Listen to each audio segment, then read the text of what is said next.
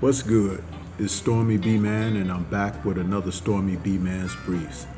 This time, the focus is on Tim Bradley saying Gervonta Tank Davis is cheating with the rehydration clause for the Ryan Garcia fight. In an article published on Boxing News 24 by Adam Baskin, it is taking note that Tim Bradley says Tank Davis is openly cheating with him gaming the system using his A side to weasel a rehydration clause in a 136 pound catch weight to gain an advantage over Ryan Garcia in their fight scheduled for April 22nd at the T Mobile Arena in Las Vegas. Bradley sees this as a really soft on Tank Davis's part to use both a rehydration clause and 136 pound catch weight to ensure that Ryan, who is now 23 0 with 19 KOs, is physically weakened enough to guarantee that he wins the fight against him. The article goes on to say, quote, he doesn't have a whole lot of problems with guys that have size. Tank also likes guys that come out fast. He doesn't mind that. He'll play defense for a little while and he'll play possum, said Bradley to Fight Hype about Gervonta Tank, Tank Davis having no issues with taller fighters. He'll allow you to get comfortable. Unquote. Then he quotes on to state that that is so soft, I'm sorry, said Bradley. If you're going to do it, do it. You're going to party, party. If you're going to buy your kids some shoes, buy your kids some shoes.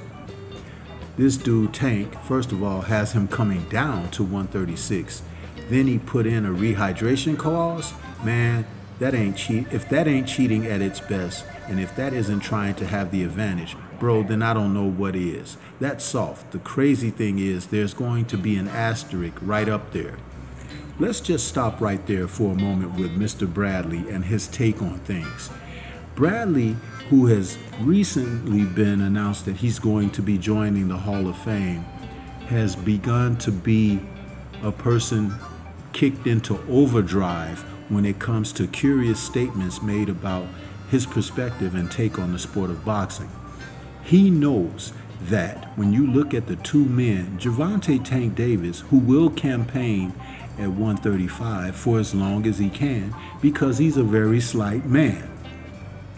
If you look at Ryan Garcia, who's almost six foot tall, and he walks around at almost 180 pounds, you could tell the difference in the size of the man.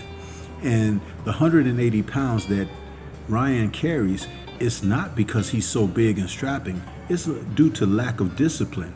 He doesn't hang around near the weight class that he should be campaigning because he doesn't put in the work. There was a time when Tank was having an issue making weight and everything, but he seems over his last three or four fights to have overcome those circumstances. So when Bradley says this, what about what we've seen in past fights where fighters like Gilberto Ramirez, who missed his fight with 12 pounds being overweight, or what we've seen from the Fury camp, or what we've seen in situations where there have been fighters like Michael Fox put at disadvantages due to the cheating, the real cheating in the sport. Bradley has once again made himself look like a fool, and I don't appreciate when you have someone who is a former professional fighter who is now sitting back from a position of loftiness, looking down on others who participate in the sport. Boxing politics have always remained, but to see these men who are former fighters come in and ridicule the sport and those who participate currently it's just disgusting. And I have to say that when Bradley had an opportunity to face certain fighters in his career, he made sure that he went the other way. How about Floyd Mayweather? How about Errol Spence? Keith Thurman? Guys who could have shown something getting in the ring with he. Ruslan Provodnikov probably knocked what little screws he had loose in his head away. But those are my thoughts. What do you think? This is Stormy B Man. Shout out to the mighty LDBC and Liberated Perspective, a third eye view of the world. For more content such as this, Please like, comment, and share.